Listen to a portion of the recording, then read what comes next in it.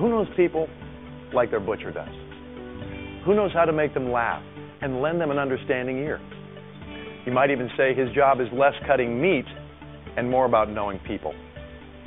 In a time when America was recovering from economic disaster, young Jimmy Smith, a butcher's son, was caught in a struggle familiar to many young people. My mother really wanted me to go to college, and uh, I really didn't like school that much. It wasn't my favorite thing, you know. I liked to play basketball, play sports, and, and school was kind of boring for me. So my dad told me, he said, Jimmy, he said, come down to the butcher shop, let me teach you how to be a butcher. He said, you'll have a job your whole life, he said. I worked during the last depression when college graduates were getting laid off. I was working. Everything he ever did, even the things that one might not want to do, he always did it and had a lot of fun doing it. I got to work side by side with him. Uh, he was exactly he is today, patched in. Uh, everything had to be done perfectly. Uh, a hard worker, and uh, just right on top of everything. Jimmy was diligent and persevered in spite of the challenge of a meager income. But it was retirement that would be the beginning of a new life for Jimmy the Butcher. I love my life. I was, I never made a lot of money, but I was the happiest butcher on the block. You know, I just, I was happy. My kids, one of my daughters told me just a couple of years ago. She said, "Daddy, I thought we were rich when we were growing up." Let's say I made four hundred thousand dollars in forty years. I made four hundred thousand dollars, and uh, that's an average of ten thousand dollars a year. And uh, I would have to work two hundred years as a butcher to make what I made last year in Isagenix. But this was only the beginning of this butcher's journey. Though times may evolve and technology may depreciate the need for person to person service, Jimmy found an industry where his people skills were far from obsolete. When he stumbled into network marketing, I mean, he took it and he just ran with it. And I'm glad he did because he made such a difference in all of our lives. Well, I think when Jimmy was forced into retirement, he actually understood at the age of 56 years old that he couldn't do the job anymore because his back was such in bad shape.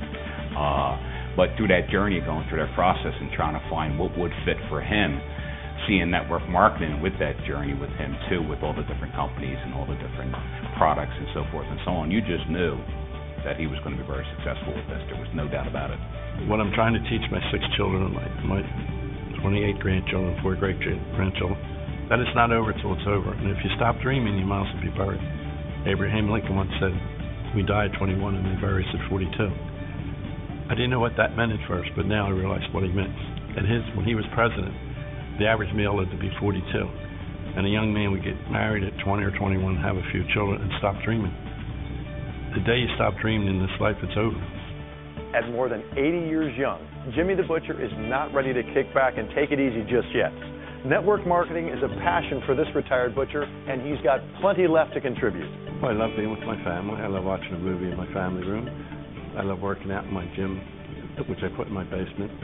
And the things I have are, are not important to me. It's about my dreams. And my wife said to me, Jimmy, why are you building this big house? I said, my dear, it's my dream. It's been a dream for a long time. Why did I buy a 40 foot motorhome?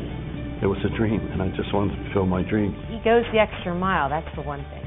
And that's why he's been successful in raising a family, in um, being very successful in the industry of network marketing. And even when he wasn't successful, he was being successful because he was learning, he was growing, and he was never going to quit. And I don't want to be remembered when I leave this earth for the house I lived in, the car I drove, the clothes I wore. I'd like to be remembered for the positive impact I have on everybody I meet on my journey to reach my goals. Um, his work ethic, he's impeccable with his word. When he makes a commitment to do something, there's no, you know, half. It's all or nothing. He's a real all or nothing person, and he loves what, because he loves what he's doing so much, working with people especially. That's the piece. Um, you know what? I don't think he considers it work. It's part of, you know, his who he is. The people say, Jimmy, when are you going to retire, Jimmy? You're 80 years of age. I said, I'll retire when I expire, not a minute sooner. No matter whatever he did in life, um, he really went the extra mile and really cared about people. The, the great Gandhi said, every man wants to live, every man wants to love, every man wants to learn, and every man wants to leave a legacy. I'm working on the legacy right now. At a time when life seems more complicated than ever before, perhaps there's something that we can learn from a retired butcher and his family. Perhaps there is more to this life than what can be gauged in status or quantified in numbers. Perhaps there's something that we can all learn from the legacy of a butcher.